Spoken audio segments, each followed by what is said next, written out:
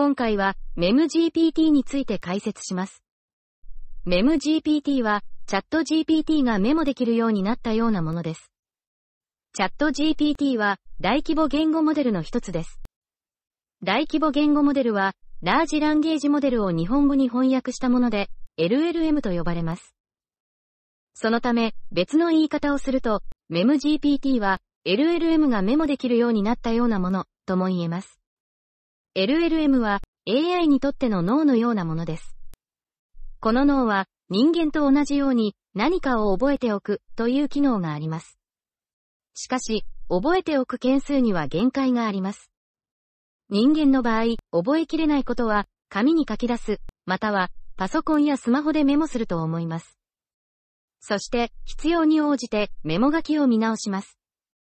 これに対して、AI の場合は、覚えきれないことをファイルに保存します。そして、必要に応じて、ファイルを読み込みます。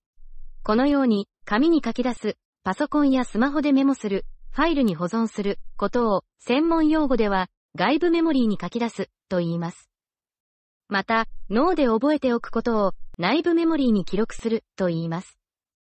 そして、必要に応じてメモを見直すことをこれらの専門用語を使うと、外部メモリーに書き出したデータを内部メモリーに読み込むと言います。これらの専門用語を使うと、MEMGPT は LLM で外部メモリーを使えるようにしたものと言えます。通常、LLM は内部メモリーだけ使っているので、扱える文章量に限界があります。しかし、MEMGPT を利用すると、外部メモリーを使うことができるので、文章量の限界がなくなります。厳密には、ハードウェアの容量を超えて記憶することはできませんが、1000ページの PDF の文章を解析するようなことができるようになります。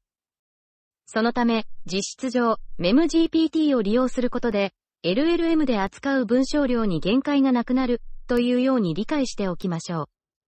具体的な MEMGPT の利用方法については、別の動画で解説しておりますのでそちらをご確認ください。MEMGPT についての解説は以上です。それではまた別の動画で。